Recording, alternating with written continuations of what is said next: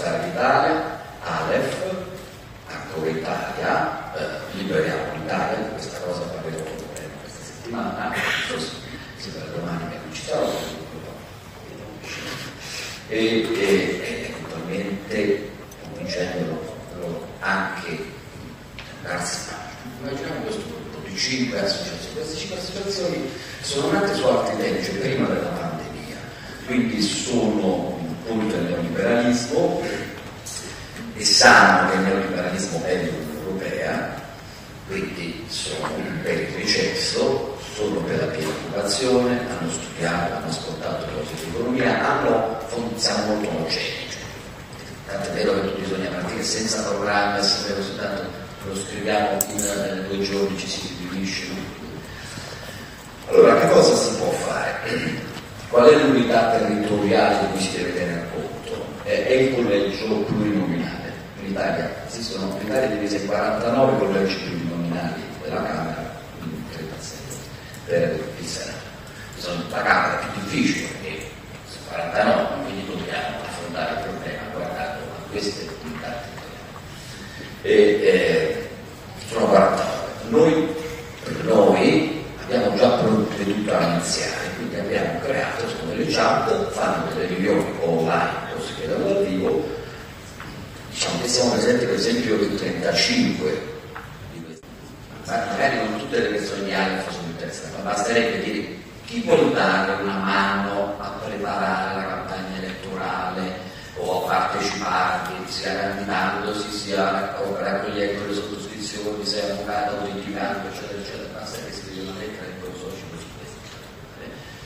abbiamo una serie di risposte, organizziamo nello stesso giorno le eh, 49, 49 riunioni online eh, e quindi creiamo intanto questi gruppi. Che devono fare questi gruppi? Quasi niente. Non si tratta di deliberare, studiare programmi, queste sono sciocchezze da centro sociale, devono diventare amici, se possibile, comunque ottimi conoscenti, devono vedersi, devono stare assieme, sono pronti e devono, e devono ricapirsi. Perché già quando un gruppo comincia ad essere eh, composto tutto da 30-40 persone, eh, si invitano delle persone a partecipare alla riunione, online o anche dal vivo, eh, quando vedono delle persone che vedono un gruppo di 30-40 persone, l'atteggiamento è il partito non sarà, il partito è una paura e il partito esiste solo se un partito è in grado di organizzarsi e candidarsi in tutta, eh, in tutta la nazione. Questo è il partito.